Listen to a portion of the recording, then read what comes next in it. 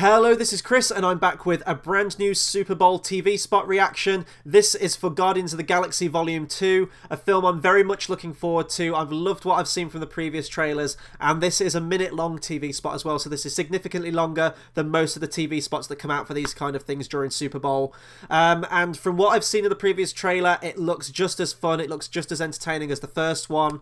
And yeah, so we're just going to jump straight to the reaction now. I'm going to talk much more about it afterwards. Guardians of the Galaxy as a proper property outside of the movie isn't really one I know a whole lot about, so there might be some character glimpses in this from the comic books that hardcore comic book fans will know that maybe I won't. But um, I'm looking forward to it regardless, so we're going to watch the trailer together now. I'm going to talk much more about it afterwards, and uh, yeah, let's see what's new in this TV spot. So I'm going to click play now. Just who Fleetwood Mac, good choice.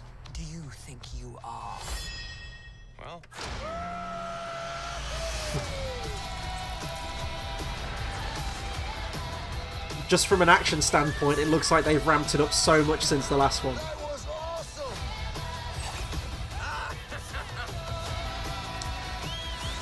It would be cool to see oh Yondu and Mantis now as part of the main team. That would be really cool.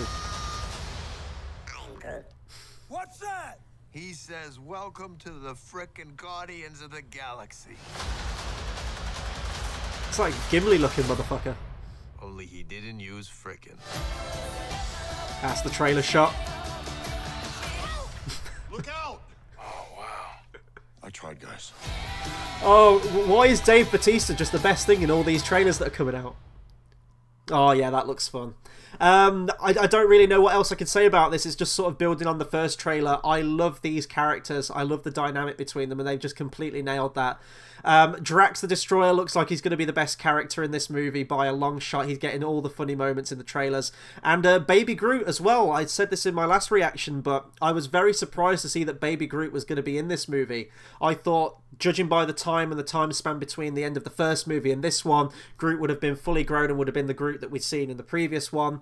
But it looks like he's got a new dynamic. Baby Groot is going to be a lot more mischievous, a lot more troublemaking, and it'll be a different side to Groot that we're used to. Still, obviously, saying I am Groot, which is integral to the character. But even the dynamic between him and Rocket looks like it will be significantly different. It'll almost be like Rocket is having to babysit Groot all the way through the movie, and we see that in the other trailer that came out where, you know, Groot's wanting hit the doomsday button on this huge nuclear bomb that he's got and then he runs off with it.